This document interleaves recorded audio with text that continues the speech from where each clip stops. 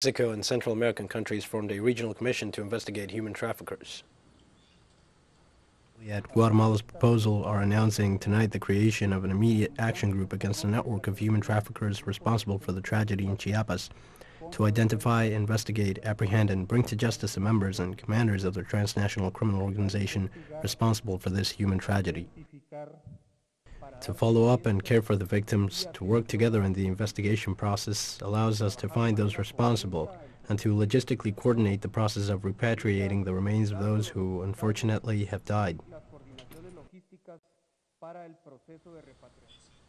The foreign ministers of Mexico and Guatemala announced the creation of a regional commission to investigate the human trafficking network responsible for the accident that left at least 55 migrants dead in Chiapas.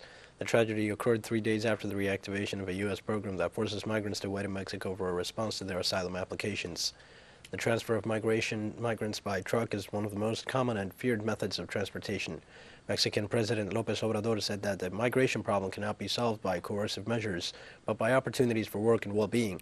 He added that people don't leave their villages for pleasure, they do it out of necessity.